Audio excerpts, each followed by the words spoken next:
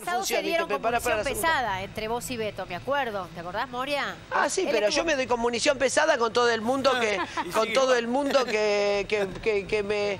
Todo el mundo se quiere colgar. Cuando se cuelgan, yo digo, yo los enfrento y batallamos un rato mediáticamente y, Y ya está. se termina. Cuando no, no terminás, obvio, se termina y ya está. Mira si te vas a acordar de la leña pasada. Para mí, yo ¿Y no sé. Alicia, la mujer?